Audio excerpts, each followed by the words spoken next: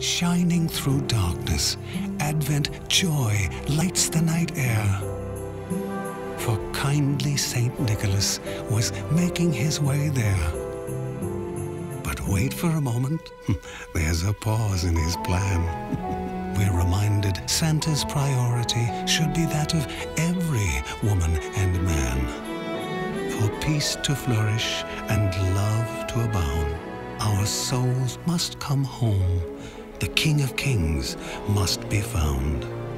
For centuries, wise men sought the Savior first, knowing only Jesus can quench our heart's greatest thirst.